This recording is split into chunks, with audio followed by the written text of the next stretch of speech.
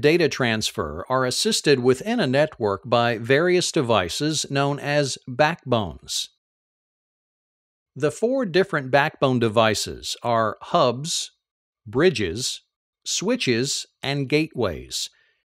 Each device transports data in a specific way. A hub is a centralized connecting device, often located at a center of a star network, that automatically rebroadcasts any signal or data that it receives from one device to all other devices on the network.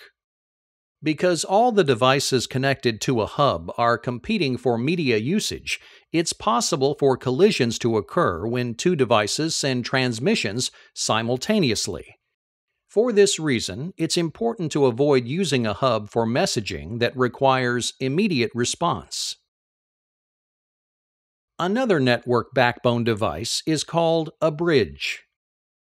Network bridges are smart devices that process and record information about signal traffic between devices in the networks.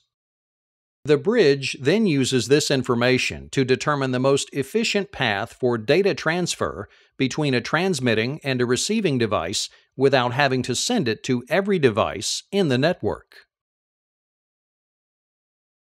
A switch is a multi-port network bridge that uses packet switching to forward data to one or multiple specific devices.